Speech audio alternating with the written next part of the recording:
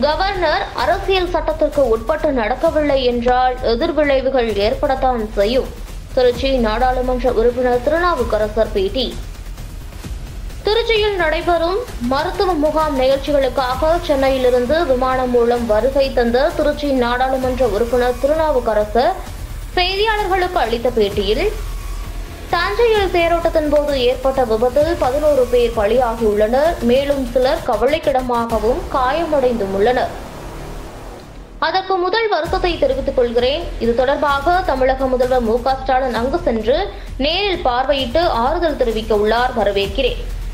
மேலும் தமிழக அரசு இறந்த ஒரு நபர்களுக்கு தலா ரூபாய் ஐந்து லட்சம் நிவாரண நிதி அறிவித்து உள்ளது அதனை அதிகப்படுத்தி வழங்க வேண்டும் என கேட்டுக்கொள்கிறேன்.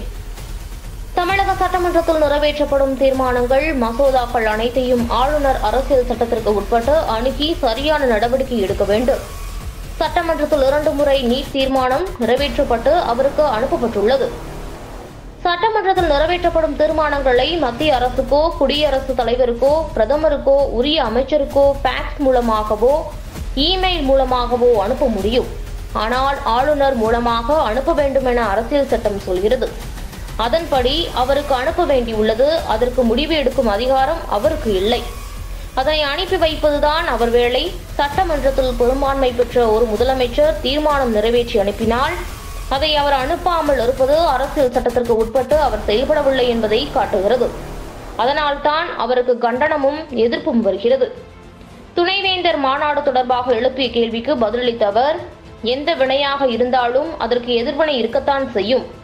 ஆளுநர் கல்வி அமைச்சருக்கு தெரியாமல் கல்வித்துறை செயலாளருக்கும் தெரியாமல் அரசு அலுவலர்களுக்கு தெரியாமல் அவரால் ஒரு மாநாட்டை கூட வேண்டிய அவசியம் என்ன இருக்கிறது? அங்கு என்ன தீர்மானம் நிறைவேற்றினாலும் தமிழக அரசுதான் அதனை செயல்படுத்த வேண்டும். அவரே அதை நடைமுறைப்படுத்த முடியாது. இங்கு என்ன ஆளுநர் ஆட்சியால் நடக்கிறது? அவர் இப்படி நடப்பதெல்லாம் மாற்று என்ன? துணைவேந்தர்களை தமிழக அரசோ முதல்வர் எடுக்க வேண்டும் என தீர்மானம் நிறைவேற்ற வேண்டிய சூழல் ஏற்படுகிறது. இது ஆளுநரின் செயல்பாட்டால் வருகிறது. பிரச்சனைக்கு தீர்வு காண வேண்டிய சூழ்நிலை ஏற்படுகிறது. முதல்வர் ஆளுநர் கட்டுப்பட்டவர் என பிரச்சாரத்தை வலு வலதுசாரிகள் மேற்கொண்டு வருகின்றனர் என்று எழுப்பிய கேள்விக்கு ஆளுநரை மத்திய அரசு நியமிக்கிறது. மத்திய அரசு பாஜக எனவே இங்கு பாஜகவினர் தங்களுடைய ஆளுநர் என நினைத்துக் கொண்டு கவர்னருக்கு ஆதரவாக பேசிக் கொண்டிருக்கிறார்கள்.